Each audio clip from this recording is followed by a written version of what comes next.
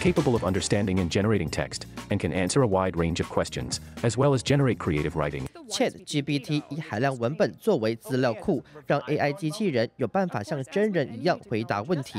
去年十一月底推出后，短短两个月，活跃用户数突破一亿户，成为史上用户数增长最快的应用程式。成功的最主要原因呢，是 Open 对全世界开放，然后这个城市呢就会越来越成熟，功能越来越强大，数据越多，那你这个。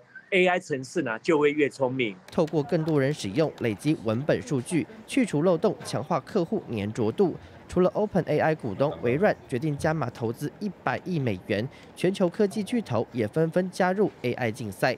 脸书母公司 Meta 推出语言模型 Llama，有二十种语言功能，但主要聚焦拉丁及西里尔字母的语言。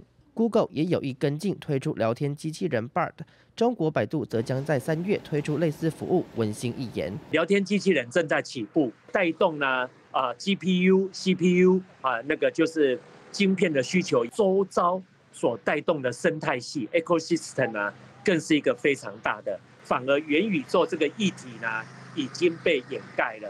展望反映在市场面，资料中心伺服器相关的信华及微影，二月份股价分别净扬六百九十五和两百一十九元。而晶片设计大厂辉达预测本季营收达六十五亿美元，换算超过新台币一千九百九十三亿元。